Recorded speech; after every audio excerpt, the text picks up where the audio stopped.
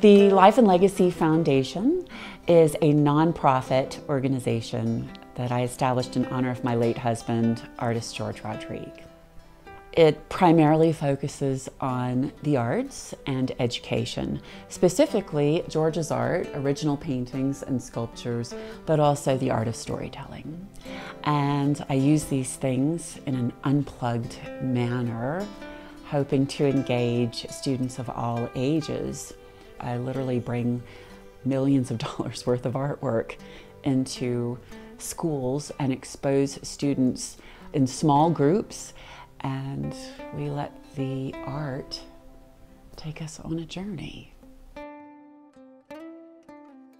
At the time of this taping, I have now been in 120 schools, more than 500 classes, and close to 50,000 kids in person, plus adults, plus three museum shows already, and we've got three in the works. George and I did that a lot. I mean, I would say in the last decade of his life, we were spending more and more time in schools. I mean, he, that's where this all really started and sprang from. Is it's an extension of what we did together. George Rodrigue is one of America's most important modernist painters. He came from a small town, loved his hometown, and he became an artist against all odds. And we go in depth in that story in Life and Legacy presentations because the reason for doing this is to inspire, uh, to encourage creativity, to encourage working it out. And the answer, not all answers are on Google. Uh, the answer's in, in here, and here, and here.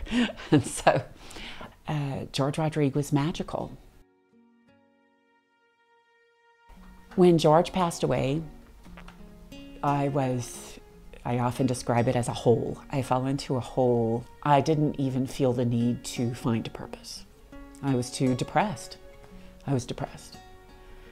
I came up with the idea for this programming for Life and Legacy as a way of pulling myself out.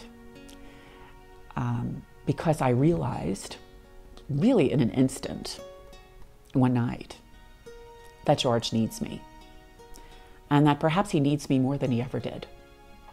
Because all those wonderful things that we experienced, all the marvelous things that he shared with me, are, are no longer in both our heads, they're just in mine. So I often tell kids, I'm here to put some of it in yours.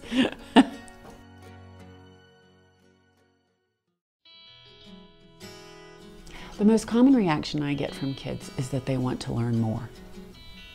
Younger kids, it's easy to see what they get out of it. They have a great time. They can't wait to go make art. They, they get really excited about talking about it. It makes them happy.